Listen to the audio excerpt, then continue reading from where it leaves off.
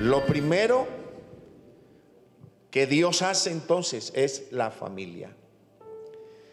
Ahora, desde el capítulo 1 de Génesis hasta el capítulo 12 hay dos líneas de familia. Dos líneas. Primero está la línea negativa. Entonces, por la familia, por la familia, entró al mundo, número uno, el pecado. Número dos, el matriarcado, o sea, el dominio de la mujer. Dios dijo a Eva, tu deseo será para tu marido. Tu deseo. Y ahí está hablando es, porque recuerde que es una traducción, está hablando es, buscarás, tendrás una tendencia de dominar al marido. Tendrás una tendencia de darle órdenes, de mandar en la casa. Entonces, entró el pecado, entró el matriarcado, porque eso es matriarcado, pero entró el machismo. El machismo es el hombre abusando de su autoridad. Entró el primer crimen porque Caín mató a su hermano, Abel. Entró el primer adulterio porque Lamed aparece con dos mujeres. Entró la música pagana. Todo eso viene de la línea de la familia.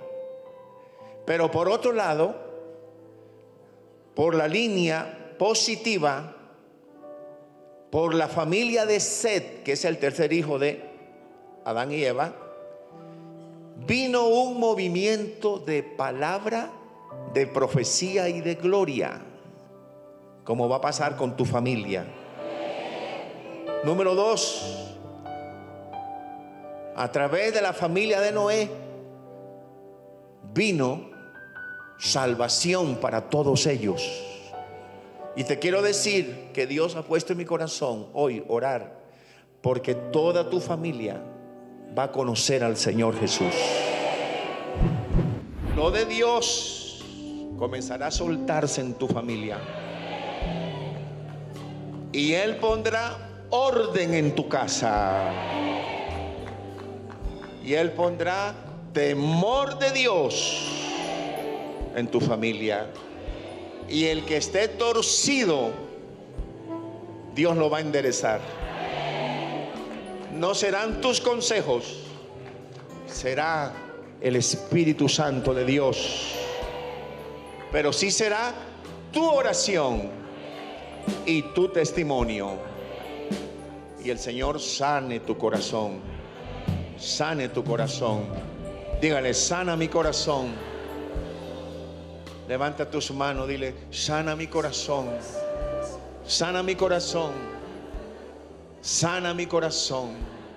Palabras que han herido mi vida, sánalas, sana mi corazón Sana los recuerdos. Sánalo, Señor. Llévame a amar a pesar de. Llévame a perdonar. Sana, sana, Señor. Da otra oportunidad. Despierta en mí amor incondicional. Y diga que yo sea valorado en mi casa. Que yo sea respetado en mi casa, que yo sea honrado en mi casa, entonces valdrá la pena seguir adelante con esta familia que tú me has dado. Lo que yo no puedo hacer, diga, tú lo harás, tú lo harás, tú lo harás. Lo que yo no he, podido, tú lo harás, tú lo harás. En el nombre de Jesús. Dios va a hacer milagros con tu esposa. Dios va a hacer milagros con tu esposo. Hay esposos quietos, hay esposos lentos, toca empujarlos. Hay esposos que han cargado a la esposa y la esposa está cargada porque tú eres muy lento. lento, inclinado a sonso, pero más bien lento. Y tu esposa está desesperada, no hace nada, no corrige, no pone orden. Pero Dios hoy dice que tu oración va a mover la mano de Dios.